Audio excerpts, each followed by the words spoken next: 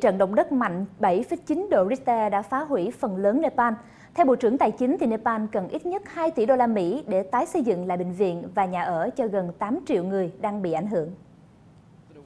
Sau trận động đất, những thách thức mà Nepal sắp phải đối mặt là không hề nhỏ. Liên Hiệp Quốc cho biết hơn 600.000 ngôi nhà bị phá hủy, cùng 8 triệu người dân bị ảnh hưởng, trong đó có ít nhất 2 triệu người cần gấp chỗ ở, thực phẩm, nước uống và thuốc men. Trong khi một số người cho rằng chính phủ Nepal đã phản ứng quá chậm trong công tác cứu trợ, thì những người khác lại đặt câu hỏi rằng sự trợ giúp lâu dài sẽ đến từ đâu.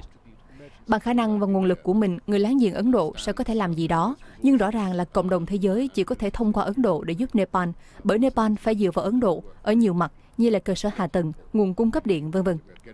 Bộ trưởng Tài chính Nepal cho biết cần ít nhất 2 tỷ đô la Mỹ để tái xây dựng nhà cửa, bệnh viện và các văn phòng chính phủ. Nepal đang kêu gọi các nhà tài trợ quốc tế. Các tổ chức phi chính phủ hay các thể chế tài chính như Ngân hàng Thế giới, Ngân hàng Phát triển châu Á hay thậm chí là cả Quỹ tiền tệ quốc tế IMF sẽ là những người tham gia và giúp đỡ Nepal, nhất là khi họ đã từng có kinh nghiệm tái xây dựng trong quá khứ, ví dụ như sau đại dịch Ebola ở Tây Phi.